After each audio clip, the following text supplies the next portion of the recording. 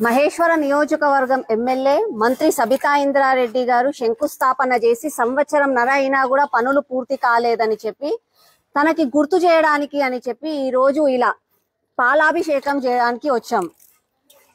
మన సరూర్ నగర్ డివిజన్లో అన్నిటికైనా పెద్ద సమస్య యూజీడీ పైప్ లైన్లది అని చెప్పి నేను మొత్తం కాలనీలలో తిరిగి అక్కడున్న హాట్స్పాట్స్ని గ్రహించి మొత్తం అధికారుల దగ్గర పోయి వాళ్ళని బతిమ్లాడి అంతా చేసి ఎనభై నాలుగు లక్షలు జిహెచ్ఎంసి ఫండ్స్ శాంక్షన్ చేయించిన తర్వాత మంత్రి సబితా ఇంద్రారెడ్డి గారు ఎట్టకేలకి తన ఒక రెండు వందల మూడు వందల మంది అనుచరులతోటి వచ్చి మా కార్యకర్త పైన దాడి చేసి మరీ ఇక్కడ ఇదే శంకుస్థాపానికి కుంకుమ పసుపు వేసి కొబ్బరికాయ కొట్టి శంకుస్థాపన చేసి పనులు ప్రారంభిస్తామని చెప్పిపోయి ఇప్పటికి సంవత్సరంన్నర దాటిపోయింది.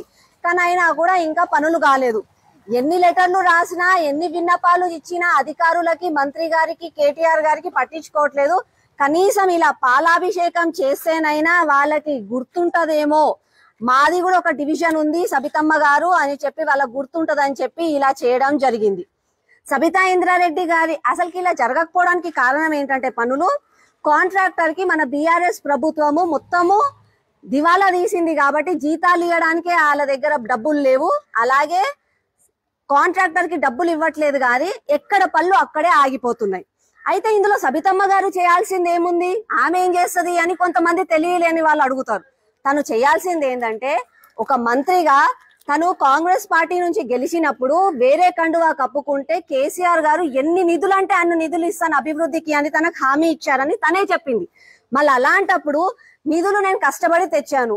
కాంట్రాక్టర్కి డబ్బులు బీఆర్ఎస్ ప్రభుత్వం చెల్లించట్లేదు. అట్లీస్ట్ కాంట్రాక్టర్కి బాత బిల్లులు ఇప్పించి కాంట్రాక్టర్ తోటి పనులు చేయిస్తే చాలు. కాంట్రాక్టర్తో మాట్లాడో వాళ్ళకి దమ్కి ఇచ్చో ఆమె హోదాని వాడుకొని ఆమె చేస్తే బాగుంటుందని చెప్పి తనకి గుర్తు చేయడానికని చెప్పి తన పేరుకి తను చేసిన శిలా పథకానికి తను ఇనాగరేషన్ చేసిన దీనికి ఈ రోజు నేను పాలాభిషేకం చేస్తున్నాను. అమ్మ సబితమ్మ గారు ఈ మిగిలిపోయిన ఆరు నెలలోనైనా పెద్ద మనసు చేసుకొని మీకు ఓటేసిన ప్రజల కోసం మీరు పని చేసి మాకున్న ఈ సమస్యలన్నీ తీరుస్తారని చెప్పి నేను ఎంతో ఆశ. ఇలాంటి శిలపలకాలు ఇది ఒకటే కాదు. మొత్తం ఎన్నో ఉన్నాయి. కానీ అన్ని చేసుకుంటూ పోతే షాపులల్లో పాలు అయిపోతాయి పిల్లలకి పాలు దొరకవు. మన లాంటి వాళ్ళకి కాఫీ టీలకు కూడా పాలు దొరకవు అని చెప్పి నేను ఈ ఒక్క దాంతోనే సరిపెట్టుకుంటున్నాను